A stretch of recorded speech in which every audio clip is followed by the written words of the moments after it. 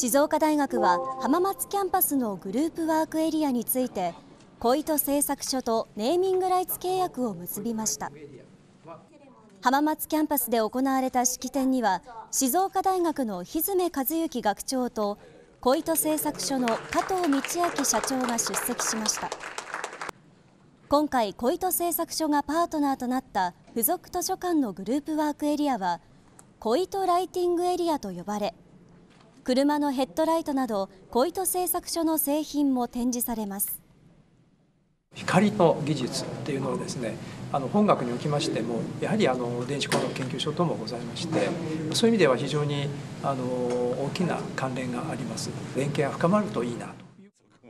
契約期間は3年で契約金は非公開ですが教育施設の整備などに使われるということです